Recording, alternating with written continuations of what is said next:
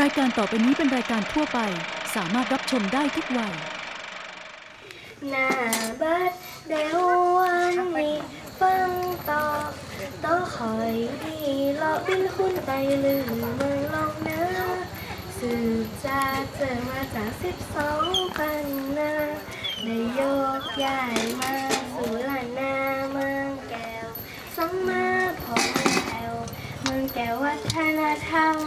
พากันน้มนวัฒนธรรมไตลือ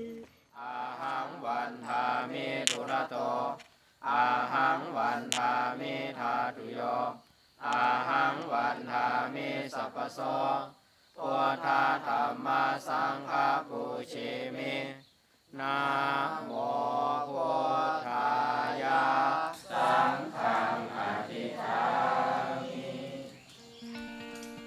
สวัสดีครับคุณผู้ชม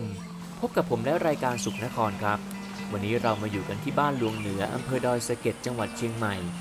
ชาวบ้านที่นี่ส่วนใหญ่เป็นชาวไทยลื้อที่ยังคงรักษาวัฒนธรรมของตนได้เป็นอย่างดีครับ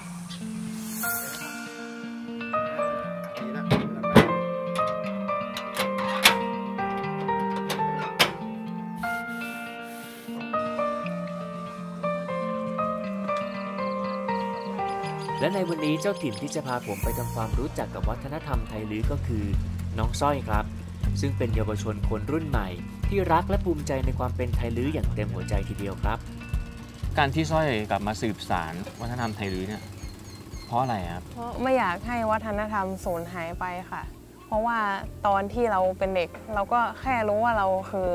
ชาติพันธุ์ไทยลื้อก็คือชาติพันธุ์หนึ่งที่มีในประเทศไทยแต่ไม่ได้รู้ถึงความลึกซึ้งว่าคืออะไร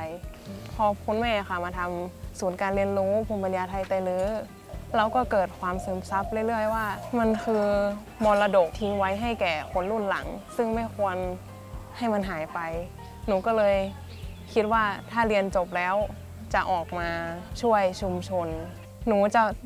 ใช้ความจำจากพ่อแม่ คนรอบข้างก่อนนะคะ จากนั้นเราก็จะเริ่มสังเกตสิ่งแวดล้อมใกล้ ๆ ตัว อย่างเช่นหมู่บ้านนี้เป็นหมู่บ้านไทยลื้อเนาะเวลาไปเที่ยวที่ไหน หรือไปซื้อของตามตลาดเนี่ยค่ะเราก็จะได้ยินคนพูดหรือเราก็เลยลองหัดพูดบ้าง ต้องรักษาไว้ให้นานจนกว่าเราจะไม่มีชีวิตอยู่ สิ่งแรกที่ภาคภูมิใจคือวัฒนธรรมไม่สูญหายไป มันยังคงอยู่กับเรา คนในชุมชนก็กลับมาพูดภาษาลือแล้วก็แต่งกายลือทางโรงเรียนนะคะ โรงเรียนก็สอนอย่างวันศุกร์ก็จะสอนภาษาลือเด็ก ให้เด็กเขียนด้วยพูดด้วยอย่างเงี้ยค่ะในความเป็นไทยลื้อนอกจากภาษาแล้วเรื่องเครื่องแต่งกายแล้ว เราทำอะไรอย่างอื่นได้อีกมั้งที่มันเป็นมันสื่อถึงความเป็นไทยลื้ออะทอผ้าทอผ้าปั่นฝ้าย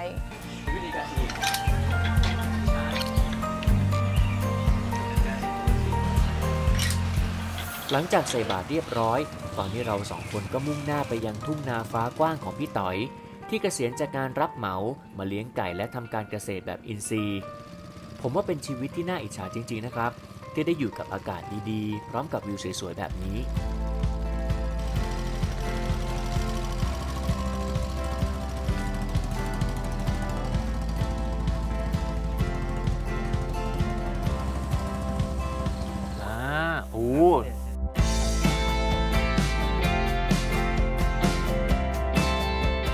นี่คือไข่เป็ดที่เดี๋ยวเราจะไปต้มนะครับ ที่เป็นทำเป็นไข่ยางมะตูมนะครับ เป็นอาหารเช้านี้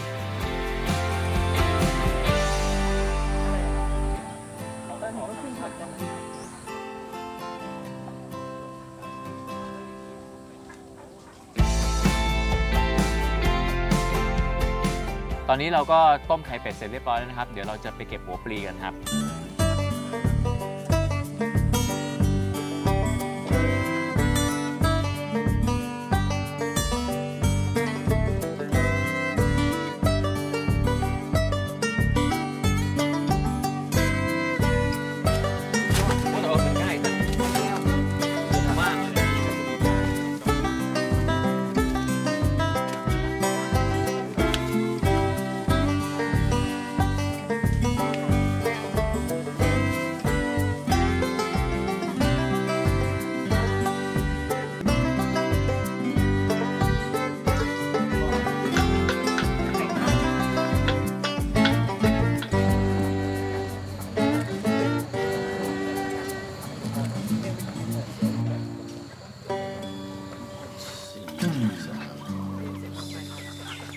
จากที่เราเก็บวัตถุดิบเมื่อเช้านี้เนาะตอนนี้ก็เลยกลายมาเป็นอาหารที่หน้าตาน่าทานมากเลย ไม่ว่าจะเป็นไข่เป็ดต้มยำมะตูมผัดหมีแอบปลาแล้วก็แกงขนุนซากหัวปลีซ่าหัวปี น้ำพริกมะกอก น้ำพริกมะกอก และนี่น้ำกระเจี๊ยบเลยที่ขาดไม่ได้ที่เพิ่งเก็บมาเนี่ยนะฮะเอาละครับ ลงมือกันเลยดีกว่าครับ ขออนุญาตทานข้าวก่อนแล้วกันนะครับวันนี้มา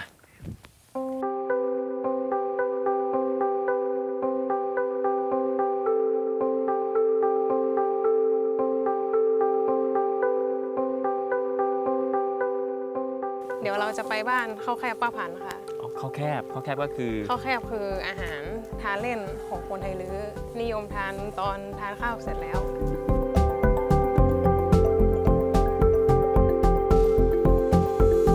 สวัสดีครับแม่ผันครับ สวัสดีสวัสดีเจ้าครับอยู่ดีกินหวานนะเจ้าครับอยู่ดีกินหวานครับ ส่วนใหญ่ข้าวแคบนี่เขาทานยังไงครับเอาเอาไว้ทานกับอะไรครับที่เปิ้นอยู่เดินอยู่ไฟนี่เปิ้นจะเอาปิ่งปิ่งเอาไปปิ้งกินกับข้าว กินกับปิ้งกินกับข้าวเออเอาปิ่งให้มันเลิงๆก่อนนะคะ ครับ เอาปิ่งให้มันเลิงๆแล้วก็เปิ้นก็เอากินกับข้าวเหนียว จะมีมีเกลือกับง่าเจ้ามีเกลืองาแล้วแป้งที่ใช้ทำคือแป้งอะไรเป็นครับข้าวเหนียวเจ้าแล้วนี่มีคนเขามารับซื้อจากแม่ไหมครับ หรือแม่เอาไปขายที่ไหนไหมครับ เปิ้นก็มาหาป้าจู้หนีพองแล้วก็ถ้าปิ้นวันปุดนี่จะมีการนัดตีโฮบาทแม่จะปิ่งไปขายปิ้งแล้วไปขายเอาแบบดิบนี่ไปขายตุ้ยถ้าบ่มีการนัดก็เปิ้นมาจู้บานนี่เจ้า จากบ้านป้าผัน ตอนนี้น้องสร้อยพาผมมาที่ศูนย์การเรียนรู้ภูมิปัญญาไทยไตลื้อบ้านใบบุญ ซึ่งผู้ก่อตั้งก็ไม่ใช่ใครที่ไหนเลยครับ เป็นคุณแม่ของน้องสร้อยนั่นเองเชิญเขาไปขึ้นเฮือนเฮาเจ้าอยู่ดีกินหวานอยู่ดีกินหวานเฮ้ยเจ้าอยู่ดีกินหวานเฮ้อยู่ดีกินหวานหน้าบ้านอยู่ดีกินหวานเร็วันนี้อยู่ดีกินหวานฟังต่อต่อคอยนี่อยู่ดีกินหวานเป็นคนใจลือเมืองลงนะ สืบจะเจอมาจากสิบสองปันนาได้โยกย้ายมาสู่ลานนาเมืองแก้ว เจออีแม่เจออีปอเขามาพอมาก้อยบ่ใจอยู่แป้ได้ข่อยโตบ้านหน่อยจนเมืองเจ้าขาเฮ้ยใส่โอมาเตตาโลธรรมาวัฒนติ อายุวันโนสุขังปะลัง อยู่ดีกินหวานเนอะอยู่ดีกินหวานเนอะสาอยู่ดีกินหวานครับป้าปุกครับเมื่อสักครู่นี้ที่มีทำการผูกข้อมือเจ้า เขาเรียกพิธีอะไรครับ อ๋อ พิธีหับตอนย้อนวิถีเจ้า พิธีหับตอนย้อนวิถีเนี่ยก็คือ เป็นวิถีเก่าคนไตลื้อของเฮาเจ้า จะเชื่อเรื่องในสิ่งที่พอบาหัน อย่าพูดผีปีศาจนี่เนาะพี่เอ มาจาก ตังไก่เนี่ยอาจจะเจอสิ่งที่บาเจริญหูเจริญตาอาจจะทำให้จิตใจของพี่เอเศร้าหมองอีเนาะพอมาถึงคนไตลื้อก็จะปัดเป่าสิ่งบดีเหล่านั้นออกไปด้วยน้ำขมิ้นส้มปล่อยเจ้าขึ้นมาแม่อุ้ยแม่เท่านะเจ้าก็จะดีใจที่ลูกหลานมาแอวหาบะมีเข้าของเงินทองฮื้อแต่มีกำปอนก็เอาฝ้ายมงคล มาผูกข้อมือมัดมือปั่นปอนฮื้อเจ้า สมมุติว่าเนาะเพิ่นสบาย เฮาก็มัดมือเนี่ยนะเออเคาะมือรับเคาะมือนอนเคาะมือยางเคาะมือเตียวเคาะมือเกี่ยวเคาะมือกินเออตกไปตามสินไฟเออไหลไปตามมือเนอเฮาก็ปัดเคาะโอ้เคาะมือรับเคาะมือนอนเคาะมือยางเคาะมือเตียวเคาะมือเกี่ยวเคาะมือกินเออตกไปตามสินไหมเออไหลไปตามสินฝ่ายเฮาก็ต้องเอาฝ่ายนะควางไง มันต้องเอามากับมัดอ่าให้มันหมต้องกลับมาเพราะว่าเฮาปัดเคาะแล้วอะอืมต่อไปก็ได้อยู่ดีมีสุขได้รับดีนอนดี อายุหมันควันยืน สุขภาพร่างกายแข็งแรง สมองผ่องใสอีกก็เนาะได้อายุยืนนาน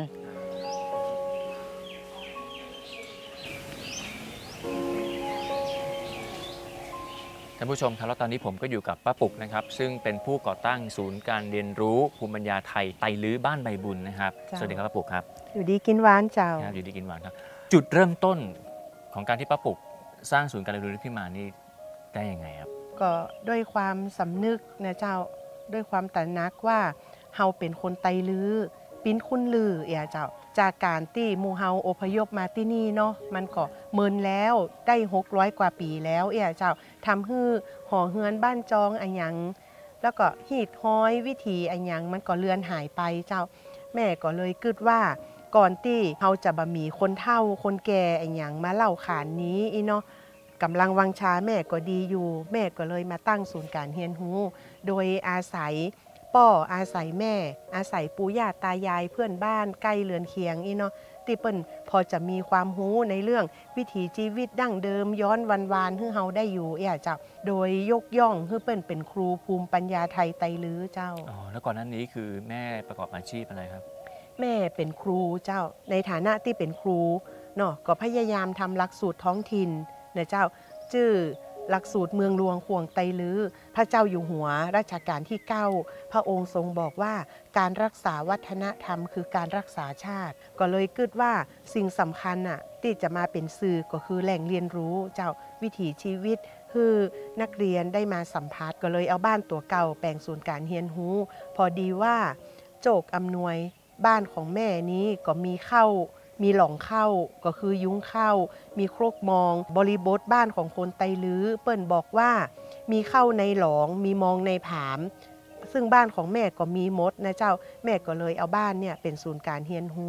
หกร้อยกว่าปีที่บะเคยหายจากหมู่บ้านเฮาก็คือปากลือภาษาลือ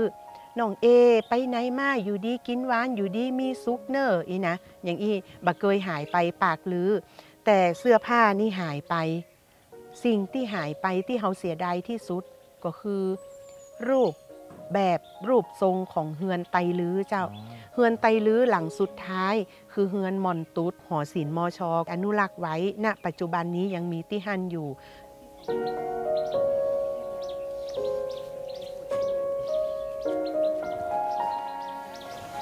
อันนี้ก็จะเป็นเฮือนไตลื้อนะเจ้าเฮือนไตลื้อนี่มีสองจัวนะเจ้าครับจัวนี้กับจัวนี้ จัวนี้จะเป็นเฮือนนอนนะเจ้าเฮือนนอนแล้วจัวนี้จะเป็นเฮือนไฟ ซึ่งเฮือนลื้อของเฮาเนี่ยบอกว่าเฮือนหลังน้อยหรือว่าหลังใหญ่ก็จะต้องมีห้องนอนเพียงห้องเดียว ด้วยความที่ว่ามีห้องนอนห้องเดียว นอนรวมกันหมด แม้ว่าอยู่รวมกันหมดเนี่ยเฮาก็จะมีมุ้ง แยกเป็นเฉพาะครอบครัวครอบครัวเจ้า คนที่แต่งงานแล้วก็จะต้องนอนมุ้งสีดำเป็นใดต้องนอนสุดดำไอ้พี่เอลองลองส่องพอหันอันอย่างตั้งในก่อนครับส่องเจ้า ไม่เห็นอะไรเลยครับอ่าบะบะหัน เดี๋ยวเฮามาพิสูจน์นะเจ้าว่าตังในมีก่อเปิดเปิดมุ้งแวกโอ้นะเจ้าเออแต่ไม่เห็นจริง ๆ นะ อันนี้ก็จะเป็นเฮือนไฟเนี่ยเจ้าเฮือนไฟก็คือห้องครัวนะเจ้าห้องครัวของคนไตลื้อเนี่ยมันจะเป็นเตาไฟอย่างอี้สามก้อนเศร้าเจ้าก็คือเขาไปเอาก้อนหินมาสามก้อนอ่าเพื่อฮือวางเป็นตั้งหม้อขาได้ทั้งหมดเจ้าเป็นเป็นขา เป่าเพื่อบ่ฮือมีควัน เป่าเพื่อฮือไฟมันลุกเจ้า เจ้า เจ้าเออไฟมันลูกติดละ แล้วก็อันนี้เป็นแคลแคลนี่นะนี่ เอาตากป่าแห้ง ตากปลาแห้งป่าป่าที่เขาได้มาจากจะกาแบงบว่าต้ง อ๋อก็จะอยู่บนนี้ เจ้าป่าที่เขาได้มาจากกางต้งอะเขาก็เอามาแล่แล่แล่เสร็จแล้วเขาก็เขาแบบมีตู้เย็นเขาเอาวางตากไว้นี่มันก็จะถูกรมควันควันโฮมเจ้า ครับ ป่ามันก็จะแห้ง มันเป็นการถนอมอาหารอย่างหนึ่งเจ้า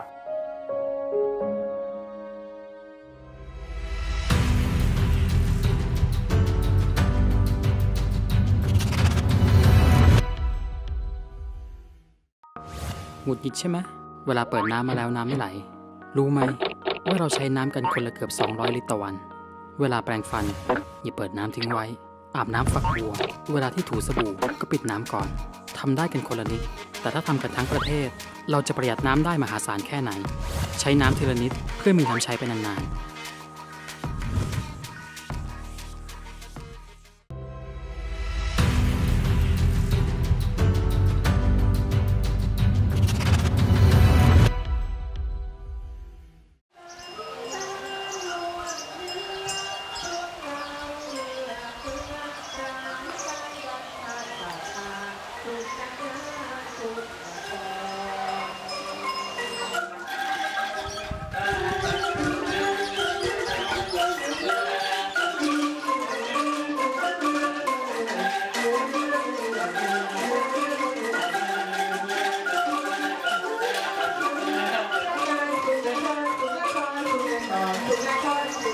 ตอนนี้น้องสร้อยพาผมมาที่สิ่งศักดิ์สิทธิ์ซึ่งถือว่าเป็นของคู่บ้านคู่เมืองของคนในหมู่บ้าน เรียกว่าเสื้อบ้านครับ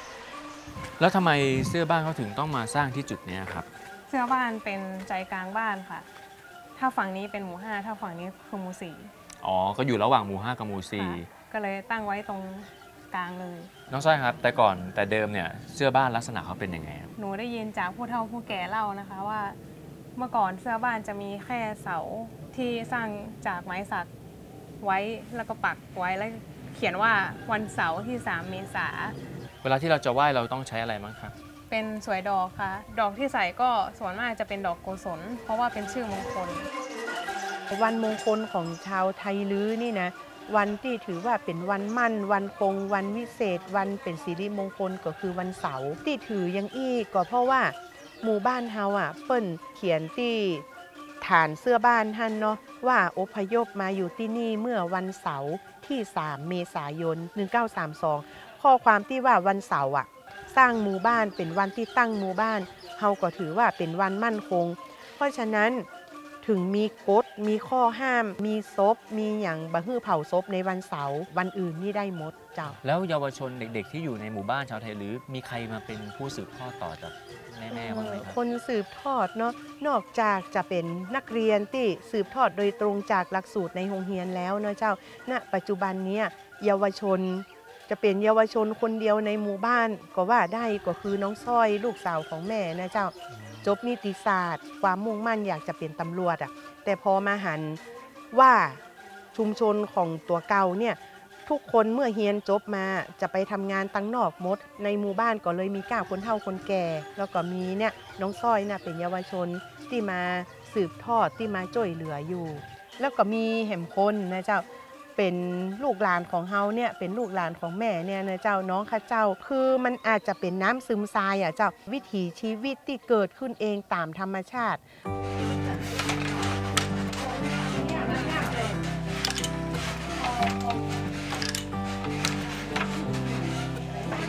ขับลื้อได้ค่ะ แล้วก็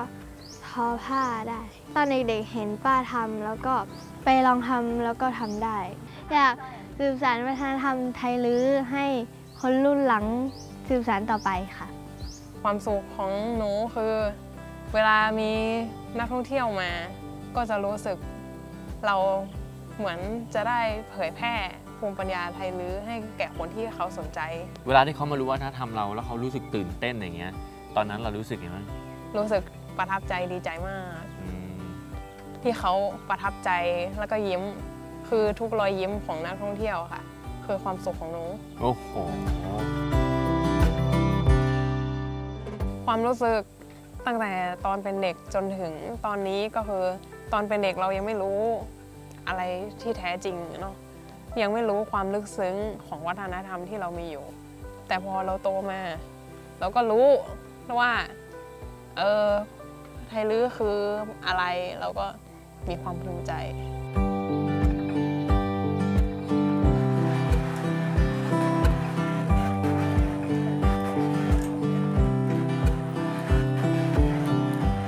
ก็ปืนหูอันนะเจ้าเนาะก็เป็นตีเนี่ยเปิ้นก็จะอีดฝ้ายปันฝ้ายเนี่ยเจ้ามีกี่ทอผ้าหนึ่งหลังสองหลังสามหลังเจ้า อันนี้ก็เป็นจึงจาไว้ฮือชิงช้าลูกไว้ฮือละอ่อนเจ้าจึงจาก็คือชิงช้านะเจ้าเดี๋ยวไอเอลองไปนั่งจึงจานะเจ้าหันหน้าไปทางปุ้นนะเอาเจ้าหันหน้าออกเนาะนี่เหรอครับเจ้าสิอ่าจึงจาโหนสองคุณปีน้องเอี่ยเจ้าเปิ้นก็จะมีเพลงของเปิ้นเจ้า ปันฝ้ายอีดฝ้ายเจ้า ปันฝ้ายอีดฝ้ายอีดเจ้านี่คือภาภาษาอีดอีดคืออีดเอาเม็ดมันออกเจ้าอ๋อเอาเม็ดมันออกเจ้าอีดแล้วก็ปันปันเป็นเส้นแล้วผูกข้อมือน่ะ แล้วก็ทอผ้าเจ้าสามตั้งแต่เป็นเด็กเลยเจ้าตั้งแต่เป็นเด็กเลยเจ้าแม่ของแม่เจ้าแม่แม่เป็นคนสเจ้าอนมีความสุขไหมครับ เจ้ามีความสุขหนักเลยมีความสุขมากเลยเจ้าดีใจมากเลยเจ้าแล้วแล้วแม่ไม่เหนื่อยครับ ที่แบบวันหนึ่งเนี่ยเดือนหนึ่งเนี่ยจะมีแบบว่านักท่องเที่ยวมาเกือบทุกวันเลไม่ยเหนื่อยเจ้าม่วนดีม่วนดีเจ้าคือสม่วนุนกดีดีเจ้าชสอบนุกดีเจ้า หลังจากที่เรียนรู้วิถีชีวิตภูมิปัญญาของคนไทยลื้อแล้ว ตอนนี้ผมกับน้องสร้อยก็มาที่วัดศรีมุมเมืองครับ ที่นี่ถือว่าเป็นวัดที่ชาวไทยลื้อให้ความศรัทธาเป็นอย่างมากครับ วัดศรีมงเมืองเป็นวัดเก่าแก่ 640 ปีแล้ว สร้างขึ้นมาสมัยพระเจ้าแสนเมืองมากษัตริย์ล้านนาองค์ที่ 8 ก็เป็นที่ทำบุญของคณะศรัทธาทั้งสองหมู่บ้าน วัดนี้เราจะมีเสื้อวัดเหมือนก็เหมือนอย่างเสื้อบ้านเนาะเวลามีงานทำบุญมีโน่นนี่นั่น เราก็ต้องบอกกล่าว เสื้อวัดก็ให้คุ้มแบบพระสงฆ์องค์เนนที่จำวัดอยู่ที่วัดนี้อยู่ดีมีสุข คณะศรัทธาที่มาทำบุญ ทุกหลังคาบ้านทุกหลังคาเรือน ก็ให้อยู่ดีมีสุขเช่นเดียวกัน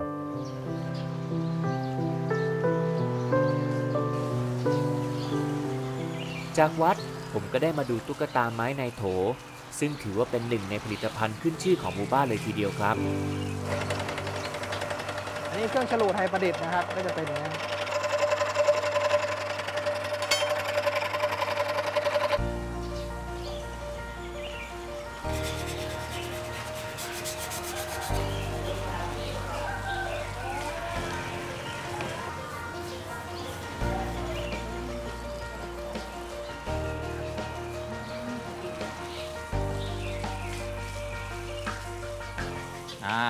ผลงานที่ผมหัดทำนะครับ นี่ช้างเสร็จเรียบร้อยแล้วน่ารักเลยนะครับ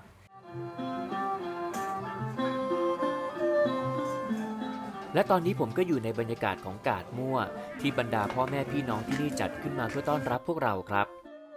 กาดมั่ว แปลว่าอะไร แปลว่า กาดของคนเมืองค่ะ กาดกาดซึ่งคือมีแสงสลัวสลัวๆก็เลยเป็นกาดมั่วกาดคือกาดก็คือตลาดกาดคือตลาด ค่ะ แล้วที่กาดม่วนเนี่ยมันมีอะไรบ้างครับมีข้าวเงี้ยวข้าวจีไข่ปาล์มข้าวเงี้ยวคือ ข้าวเงี้ยวมาจากอาหารของคนไทยใหญ่ แต่ว่าคนไทยลื้ออย่างเงี้ยค่ะ ก็เอามาทาน จะเป็นข้าวผสมกับเลือดหมู คนเมืองจะเรียกว่าข้าวกั้นจีน อ๋อข้าวกันจิ้น ค่ะ เสร็จแล้วเขาก็เอามาข้าวมาคลุกกับ เลือด ครับเสร็จแล้วก็เอาไปนึ่งไข่ปาล์มก็คือเมื่อก่อนนะคะ ชาวบ้านไม่มีเตาแก๊สมีแต่ใบตอง เขาก็เลยเอาใบตองทำเป็นควักใบตองนะคะ แล้วก็วิธีการปรุงก็คือเหมือนไข่เจียว ก็เอาไปปิ้งบนเตาอ๋อไปโล่ปิ้ง ก็เลยกลายเป็นการปาล์มไข่ข้าวจีข้าวจี่ข้าวจี่นี่เคยได้ยิน ผัดไทยไตลื้ออีกหนึ่งอย่างขนมวง ขนมวง ขนมวงก็คือโดนัทคนเมือง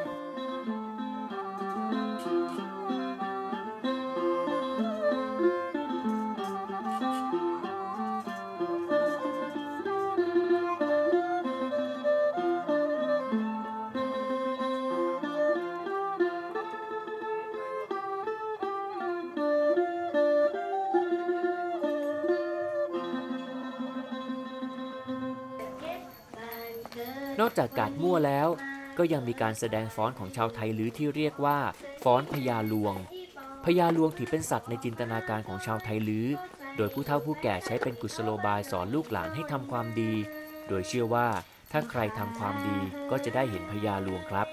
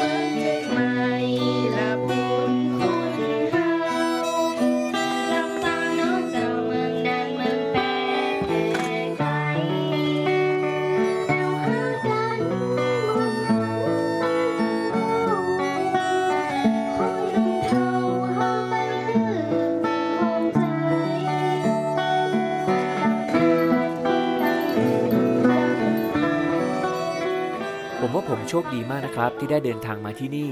ได้เรียนรู้วัฒนธรรมแม้จะเพียงแค่บางส่วนก็ตาม และผมก็ยังเชื่ออีกว่า คนที่บ้านลวงเหนือแห่งนี้มีความสุขและเต็มใจที่จะเผยแพร่วัฒนธรรม ภูมิปัญญาและอัตลักษณ์ของชาวไทยลื้อให้กับทุกคนที่สนใจ แม้จะเพียงแค่เดินทางผ่านมาก็ตาม